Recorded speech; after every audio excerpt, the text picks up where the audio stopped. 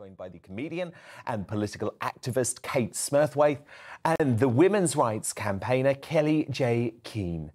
Kellie, does it undermine feminism to talk so much about mansplaining and manspreading as, as this new column in The Spectator today claimed?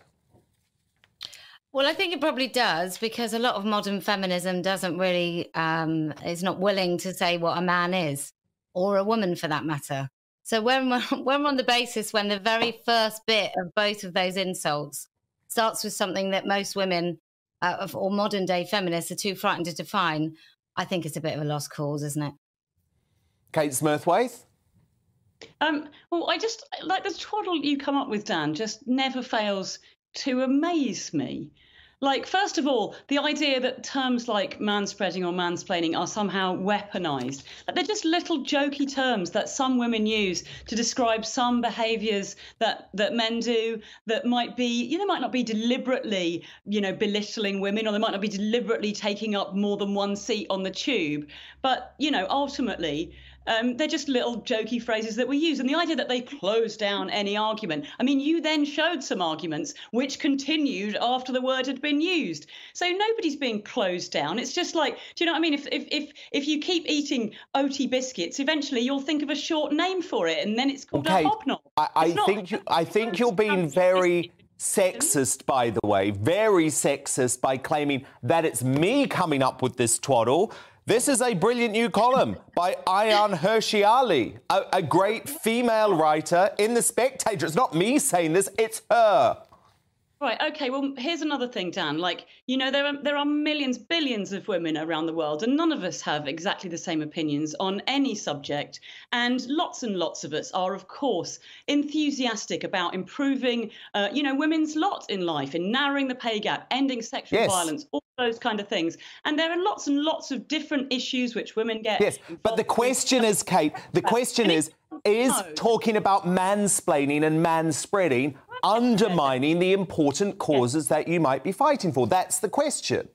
Like, if you think that women should only be allowed to talk about what the most important issue is, then then sure, I'll jump in and talk about female refugees who are escaping rape and they need to be granted asylum immediately in the UK and the disgusting things I've just heard Nigel Farage saying. And I don't think racist twaddle like that should be allowed on any station. If you're here to ask me about the term mansplaining, some people use it and some people think of it as a kind of feminist term. But feminism is not an organisation. We don't have an AGM. We don't all think the same thing. It's the campaign for women's liberation and women's equality, and as such. Well, you seem to think a lot has twaddle today, Kate. Certainly nothing racist, and so far you're the only one who's been sexist tonight. Uh, Kellie-Jay, you want to respond?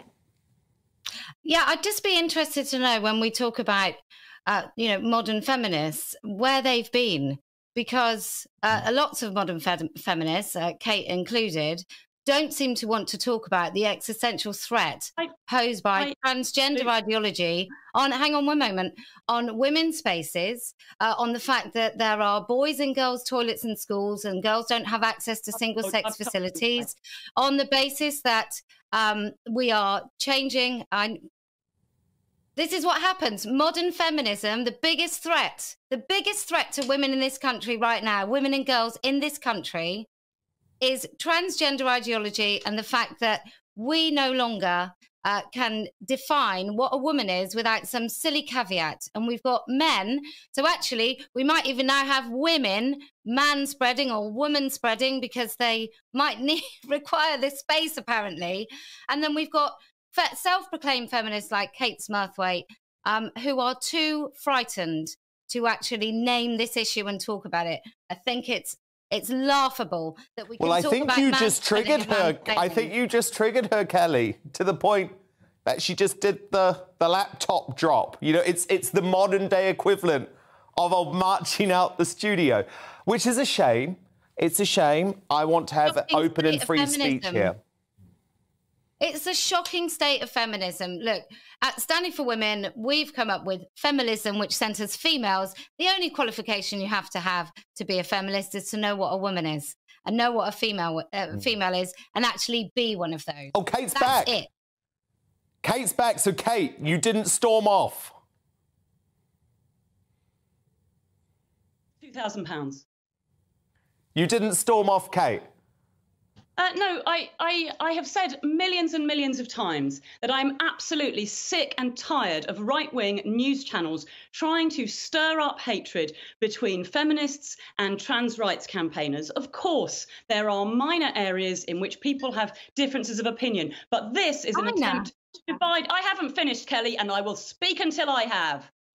This is an area which is absolutely one of the things that is whipped up into a needless media frenzy. Every feminist I know is dedicated to issues like ending sexual violence, like protecting Men women's, women's conditions, and all of these things. And the fact that you would get on people to deliberately set up. I've said before that if I am pushed into discussing this issue, I've said in advance that I don't think it's a suitable subject for a deliberately aggressive confrontational discussion like this. I haven't okay. finished, Kellie, and you'll let me finish, Dan. Um, I have said before that. well, it's actually my show, Kate, and we have two sides of the argument here, and I've got to get both in. And Kate, this is a debate on mansplaining and manspreading and the appropriateness of that. I'm not going to censor one of my guests, but you might want to know, Kate, that later on in the show, I've got Caitlyn Jenner on, uh, probably the most famous trans woman in the world, uh, who will be talking about female sport. But I'm not going to censor what Kellie-Jay has to say, just like I would never censor what you have to say. Researchers repeatedly, over and over again, that I think this issue is whipped up into an unnecessary and unreasonable debate by men and women's spaces is whipped up. Men and women's spaces is whipped up. I haven't finished. Well, you're talking for a very long time.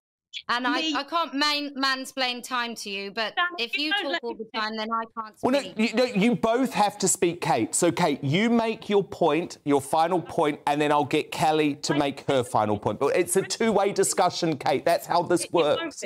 I will make my point, and that's the end of it. Um, I have I have repeatedly said to your researchers that I believe that this issue, where of course there are minor differences of viewpoint has been whipped up by a handful of extremists who are taking a very extreme point on it. And shows like yours do this to undermine women's rights and to undermine LGBT rights. And overall, overwhelmingly, those sets of rights are actually in the same place. And we're actually all campaigning for the same thing. And on big, broad issues, it's super important that we work together. And for that reason, I have always refused to participate in debates on that subject. I have made it very clear to your producers that if you do persist in asking me questions about that subject, subject. My fee goes. I didn't ask you one question about the subject. This is a debate about manspreading and mansplaining. But Kellie-Jay, who is a feminist, brought up the issue. So, Kellie, final word to you.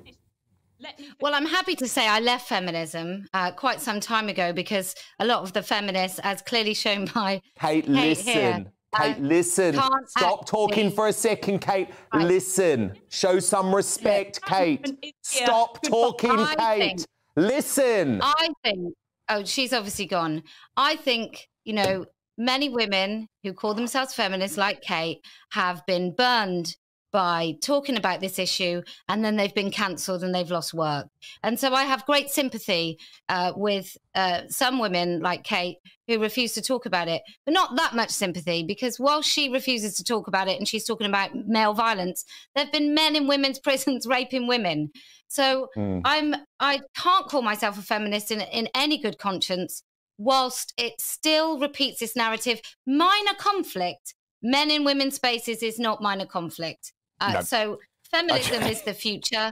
Feminism okay. is not fit for purpose. Okay, well, look, I wouldn't dream of trying to censor you, Kellie, just like I would not dream trying to censor Kate, who seemed to want to come on to GB News and have a censored discussion. That's not what we do here. Thank you so much, Kelly J. Keane, women's rights campaigner. So who